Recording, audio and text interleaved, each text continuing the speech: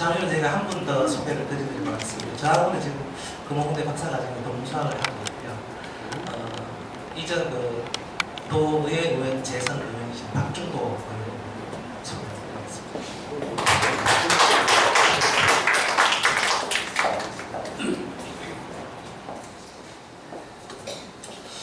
어, 저는 그 자유한국당을 주도한 그 보수 세력을 본다면은 저는 종북 좌파 말기입니다.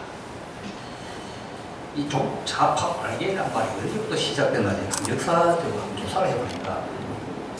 에, 1948년도에 나라 그 제의회가 설립되고 1949년도에 그 반민족인이 처음 특별법이 만들어졌습니다. 그런데 이 친일 경찰들이 이 반민족 특별법, 예, 특별법을 시행하는 이것들을 종북 좌파 말갱이로 몰아가지고 어, 고독수를 비롯한 친일 경찰들이 이 반민족인 특별위원들을 구속시키더라고요. 그게 처음 시작이었습니다. 그리고 1952년도에 그 전쟁 기간 중이었죠. 예, 그때 그 당시 그 헌법이 보기 때문에 대통령 국회의가 가성제였습니다. 근데 이승만 대통령이 한 번 더 해물을 한 게 도저히 가성제가 안, 되, 안 되니까 집선제로 바꿔라고 했습니다. 부산에서. 그럼 그 발치기를 한데 그런데 국회의원이 반대한 사람들이 있습니다. 그 반대하는 사람들을 국제공산당하고 연계되어 있다 하면서 종북 좌파 말개이로 몰아가지고 이승만 사람들을 체포하고 무소시킨 상태에서 발치기 통과가 됐습니다. 그리고 1960년도에 그 당시 그 대통령 부통령이었습니다. 이승만 대통령 당시 파임사를 대통령이 되면 부통령이 나오는 선계가 되는데 자기 그 딸랑이 이비공을 부통령을 각성시키기 위해서 오만 불법 타락 문건 어, 문건 그 선거를 치렀는데 이 한거 하는 사람을 조국 좌파 말갱이를 몰아가지고 어, 전다 잡았는데 그때 그 마산에서 김주열 군이 경기가 체류탄을 받아가지고 죽고 그것이 도화선에 대해서 서울 이제 예, 고대생들이 뇌물을 바치고 또 서울대 교수들이 어, 이승만 대통령 하해를 해가지고 그때 이승만 대통령 하해하고 어, 저 하와이에 가지고 만기 개사사를 되었습니다. 에, 그리고 이제 1960년대에 박정희 그 육군 소장 부대타를 문제 삼아는 그 사람들이 이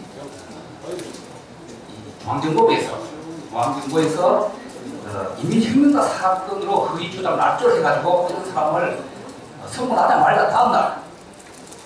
이런 사람을 사형시키고 그 중에 다섯 명이 칠곡군 어, 현대군에 지금 걸쳐 있습니다.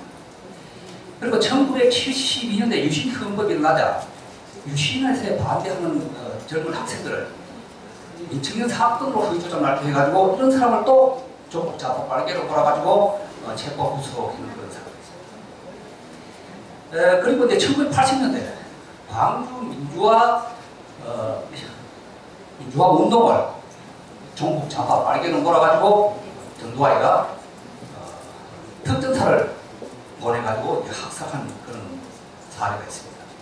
또 1987년도에 그 당시 그 군정 종식을 외치는 어, 박종철 군을 서울 남문구 대공 분실을 가지고 공은 살해했습니다. 그리고 지난번에 세월로 진상 규명 하작한 사람들과 또 조국 잡아 또 빨개로 몰아가지고 몰았습니다.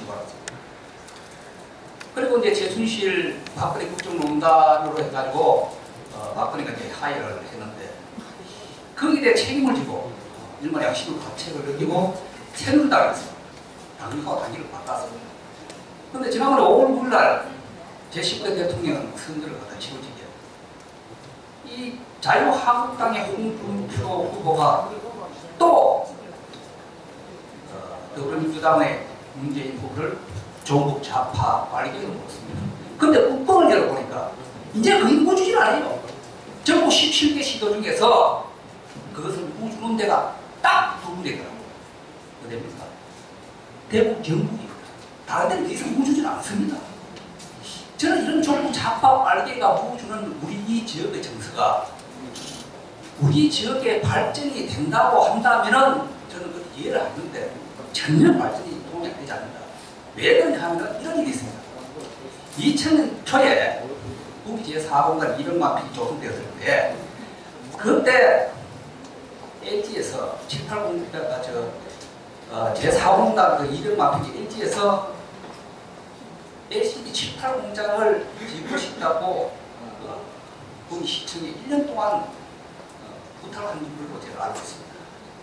근데 굉장히 속주나 이걸 알고 당시 손학규 경기지사가 우리 지역에 없나 그러면은 행정 재정적 지원 다 해줄게 막 그런 식으로 했습니다.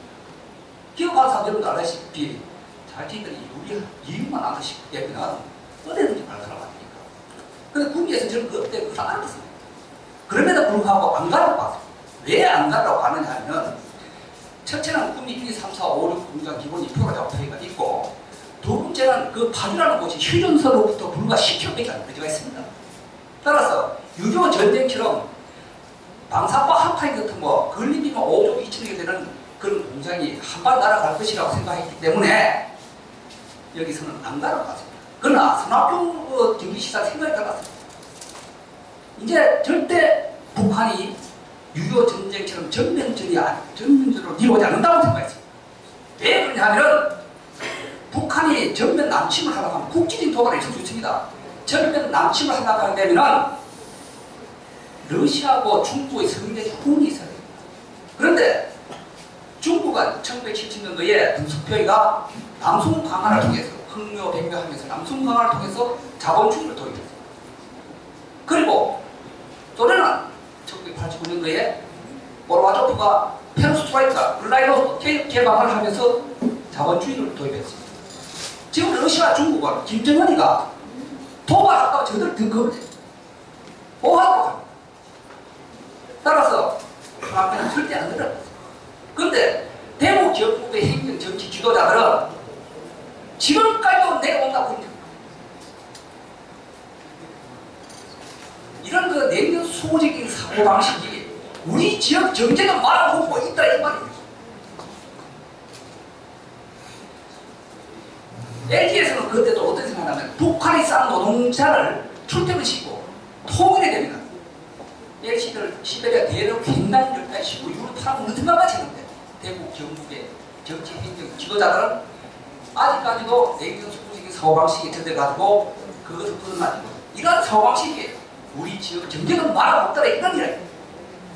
지금 문재인 대통령이 우야든지 통일하라고 막 저렇게 애쓰는데 우야 근데 자유한국당 인사들을 저 북한이 맞지 항상 미국 먹고 내가 어떻게 해야지 저들이 존재감을 찾더라고 그래서 우리는 이번 선거 때 우리 지역 발전을 위해서라도 더불어민주당의 또 지역적인 확장력을 갖고 있는 그런 그 장세용 어, 후보에게 우리 한 표를 주시서 그를 간절히 부탁드리겠습니다. 감사합니다.